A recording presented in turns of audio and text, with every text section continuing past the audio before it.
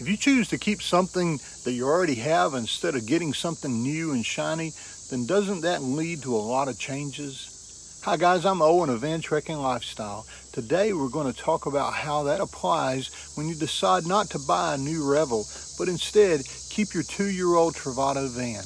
This Travato van has been an awesome part of our adventures over the last two years, but during that time, technology has come along leaps and bounds. So we almost bought a Winnebago Revel, but we didn't we figured we could spend just a little money on this Travato and make it better. One of the things that was kind of driving the decision to consider getting a Revel instead was four-wheel drive. But also, there were several things on this van that needed to be repaired. The first of which were the tires.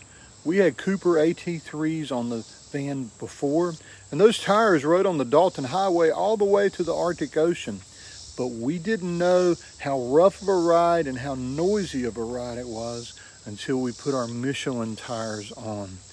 Wow, that sure made a huge difference. If you ask anyone who owns a Travato, or heck, for that matter, anyone who owns a ProMaster, the radio that ships in these things, it's a piece of crap. There's very little about it that we like at all. It does sound okay, which is actually a, a plus, but everything else about it, from the operating system to all the selections that you can make to the, the way the thing starts up, and it, there are just so many things about it that we don't like. One specifically is tied to the backup camera.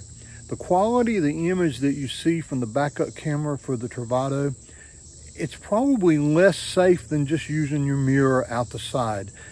You certainly can't tell what's behind you with it, and that's an issue especially when you compare it to what you can see in a backup camera from say a Mercedes-based Revel or one of those. That thing is awesome. It's a huge screen and what you see is crystal clear. That's always been an issue for us. And it was one of the things that really drew me to the Revel. I know that's stupid. Um, Apple CarPlay, I, I know that's stupid too, but you know, we're so tied to our iPhone. The fact that we had Apple CarPlay and that thing was a big plus. We didn't add Apple CarPlay to the van, but we did add a really cool option to allow us to see when we back up. It's actually a screen that connects directly to the mirror. It covers up the mirror, but you don't need it anyway because you, all you're seeing is what's in the back of the van. You can't see out it. And so it connects there and we can see what's behind the van.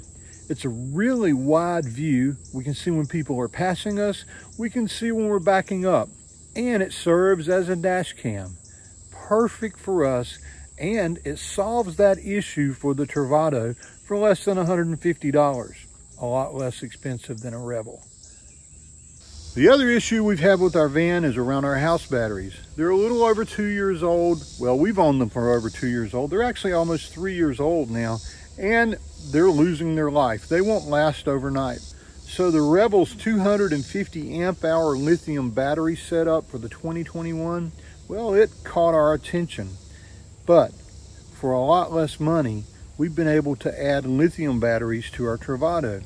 And thanks specifically to Scott and other people just like him who have done this upgrade and posted pictures and videos and notes about how to do it on the Travato owners and wannabes site and the Travato Basecamp site it's not that difficult of a task to complete. First, we had to decide what batteries to get. That was made pretty easy when Costco sent us an email and said the ones we were considering, the Lion Energy batteries, were on sale for $1,300 for two of them. Okay, that made that decision. They're on their way now. In fact, the UPS driver is going to arrive any minute now with that package, and I'm pretty excited about that.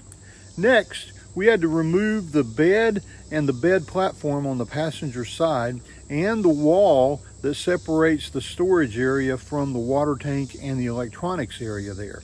That's not that hard to do, just a few screws and you've got access to that. And then the most daunting task, at least for me, especially with Lynn worried about it, we need to drill a few holes through the floor of the van and run cables back to the black box and the negative post of the van so we can connect up these new lithium batteries. And then the final step is to connect a battery monitor that will allow us to see how the batteries are actually doing overnight and as they're charging. And that's pretty much it.